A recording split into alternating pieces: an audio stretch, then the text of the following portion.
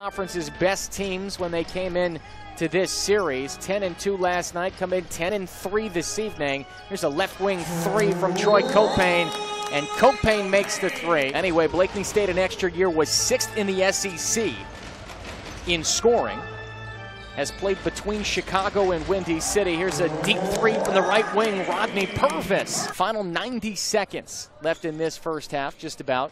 Rodney Purvis at the top of the key. He is checked by Blakeney. Uses the screen to the right, draws the contact, falling away. He loops it up and in. Had seven points in the loss against the Vipers a couple of nights ago. Purvis splits the defenders, challenges Harris at the rim, and banks it up and in. And the foul as he stepped between the defenders, found some room. Tyler Harris came over to contest. Final 212, they trail by nine, 112, 103. Here's a takeaway by Rodney Purvis. Throws it back in bounds, ahead to Khem Birch. He catches feed. Payne, here he comes.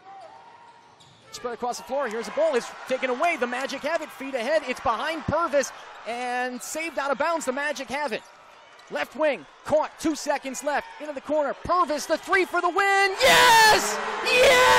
Yes! The Magic win!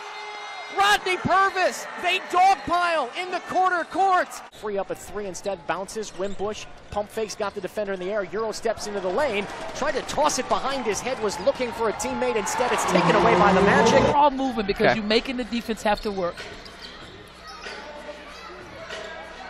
Open three is canned for Kevin Foster. A substitution for Lakeland. Part of the reason why they called the timeout was to get some players in, including Purvis, who runs the floor after the turnover.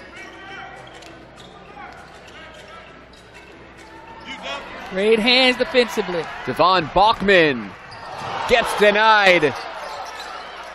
Devon Bachman on Purvis. Purvis draws the foul, connects and one. It's out to Price. Now Purvis with 10 on the shot clocks.